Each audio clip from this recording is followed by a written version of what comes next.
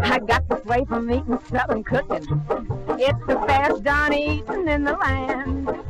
Folks will try to train you to like a Yankee mania, but for me it's gotta be that good old Dixie brand. I got this way from eating southern cooking. You can bet I've plenty room for more.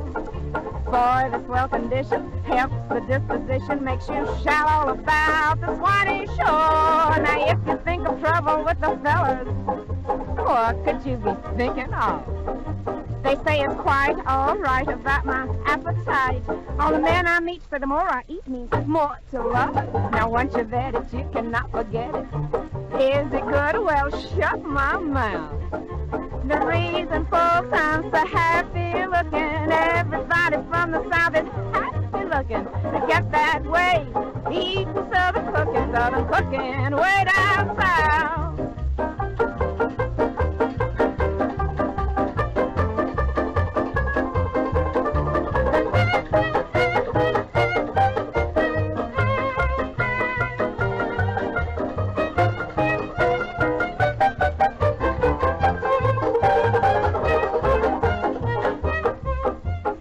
friend I knew the other day. She said, My gal, how much do you weigh? Here's a book I'll give you. You need it. Read it. Try it.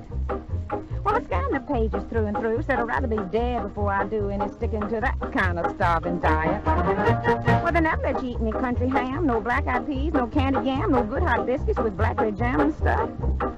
Well, no fried chicken, you know I'd die. Now, to taste a good old tater pie, no hominy grits, you can't deny that's rough. It's just a calorie here and a calorie there and a lot of healthy empty air. Now, frankly, I don't think I'd care for that.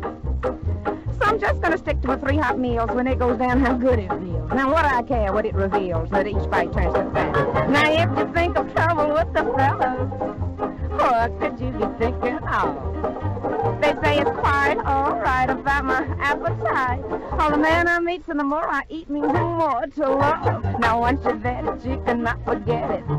Is it good? Well, shut my mouth. The reason folks